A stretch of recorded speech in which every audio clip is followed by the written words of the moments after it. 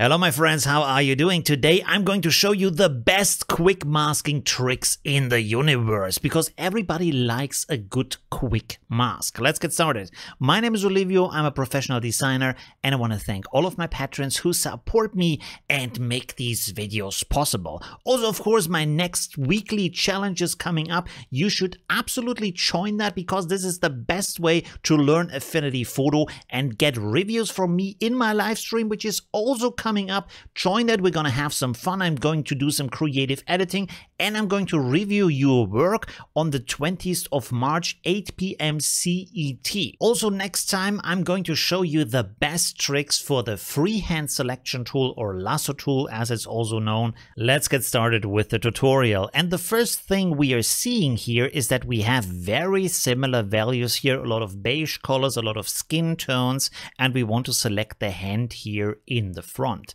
So the way I want to start this is by using the selection brush tool up here. By the way, I have a new trick up my sleeve, which is this little zoom uh, rectangle here. So let me know in the comments if you like that, if that is helpful. So select that selection brush. And then the next important thing when you want to use this in combination with the quick mask is to go up here where it says soft edges. Now what that does is when you initially paint on the selection with this brush, it creates a pixel perfect selection, which means you get a very rough toothy edge that doesn't look good. Now soft edge is anti-aliasing that edge to make it softer, to feather it a little bit and just make it a lot smoother. So you want to turn that on. That is pretty important if you want to switch over to the quick mask afterwards. Of course, also make sure you are in the add mode. This is also important instead of the subtract mode because otherwise you're going to select or have an inverted selection, so that's not great. Okay, let's go down here and I have the first super trick for you, the secret sauce, and that is changing your selection brush size. For that, hold on your keyboard the Control and Alt key at the same time, then click your left mouse button and hold that too, and move your mouse left to right, and you can see that this is changing the size of my brush.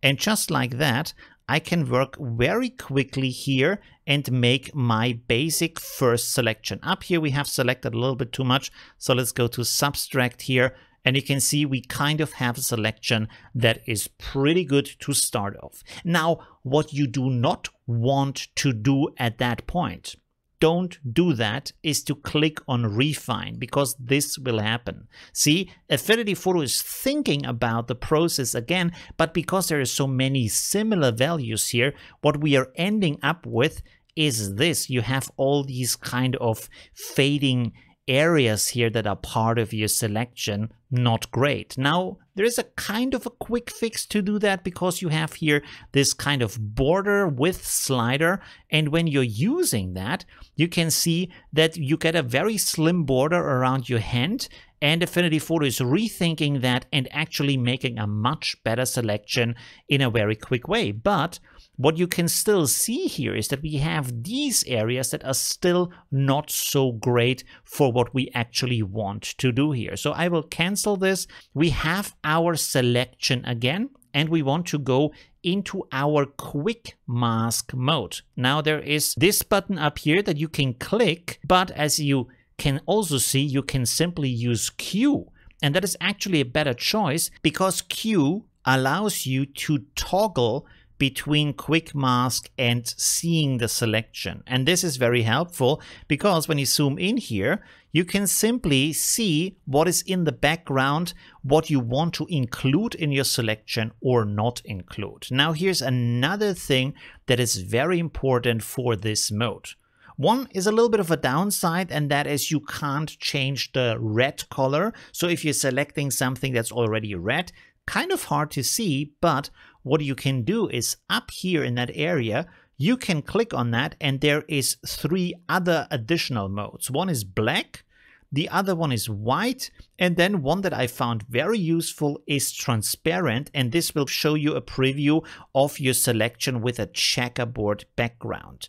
Now, there is a very huge benefit for that because you can see here when you look at this, you can see that the selection actually is good, but we still have this kind of dark edge here around the hand and you might want to remove that. I will show you a trick on how to quickly do that in a second. Now what we want to do next is to go back to overlay and you want to paint on that mask here with your brush. So of course you want to select your brush tool over here. You can see simply the paint brush is good enough for that. And then go back here and again, you can use your control and alt key and then hold the mouse, the left mouse button down, move your mouse left to right, this is resizing the brush, move your mouse up and down, this is making your brush harder or softer. And just like that, you can very quickly paint the mask in. Now, Here's the next super trick, the next secret sauce, and that is, of course, you want to change between painting the mask and removing the mask. So this usually is done between black and white as colors, and you can click over here to do that. But what you can also do, which is much quicker, is on your keyboard, press and hold shift and then press X also on top of that. And you can see this is switching the color. When you look here, I can switch the color black and white back and forward. So that is very, very useful. So we can go here and you can see I can simply paint on that to fix that ring over here like so. And then we can go to other areas down here. And here are two additional very cool tricks. One is when you press down the mouse wheel, you can move your canvas around. And the other one is when you hold control and rotate your mouse wheel, you can zoom in and out. As you can see with these tricks, I can very, very quickly work on my selection and improve that and fix all these kind of areas, move around very quickly to see what do I want to hide, what, what do I want to show.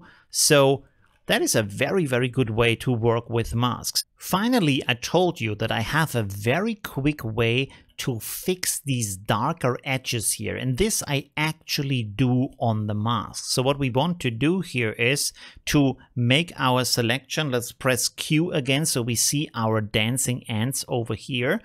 And then what I'm going to do is that I'm creating a mask but I'm leaving the dancing ants and I'm going up here to select to grow and shrink. As you can see, you can also use Control B to open up the grow and shrink settings.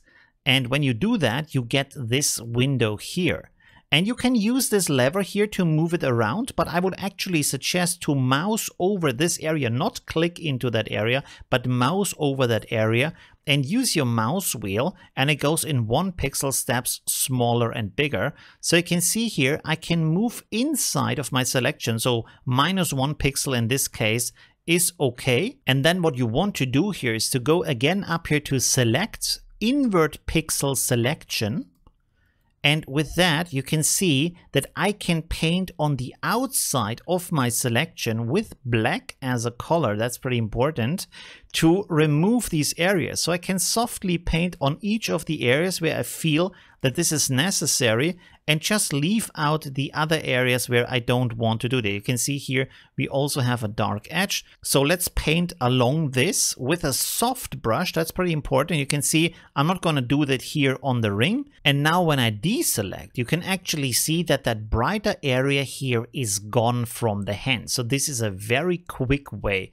to fix that. And of course, last but not least, you want to mask this to your image. So right click, mask to below and just like that with very simple tools you can create a very nice selection. Thank you very much for watching. Leave a like if you enjoyed that video and please subscribe to my channel if you want to see more. I have over 400 tutorials on my channel. Thank you very much and see you soon. Bye.